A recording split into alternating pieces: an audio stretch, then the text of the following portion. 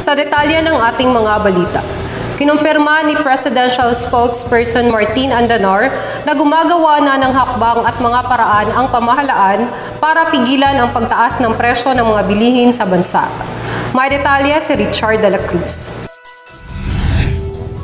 Dahil sa nagpapatuloy na labanan sa bansang Russia at Ukraine, nagdulot ng lalo pang paghirap sa iba't ibang panig ng mundo, lalo na sa Pilipinas, ayon kay Presidential Spokesperson Secretary Martin Andanar, may hakbang na ang government para sa mamamayang Pilipino na apektado na ang kabuhayan sa nagpatuloy na labanan ng dalawang bansa.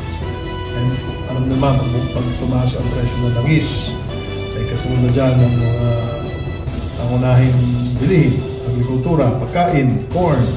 Pag tumaas ang mais, ay tataas din ang gastos ng ayan, ang bentahan ng uh, manok. Ano ba kinakain ng manok, di ba? Feeds. Pati mga baboy, uh, fertilizer, na apektado lahat.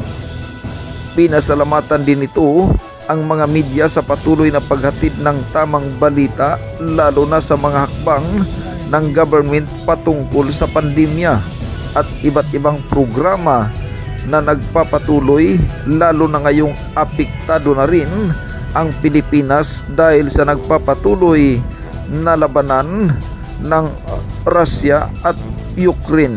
Para sa Agila Pilipinas, Richard de la Cruz, matatag, matapang, matapat.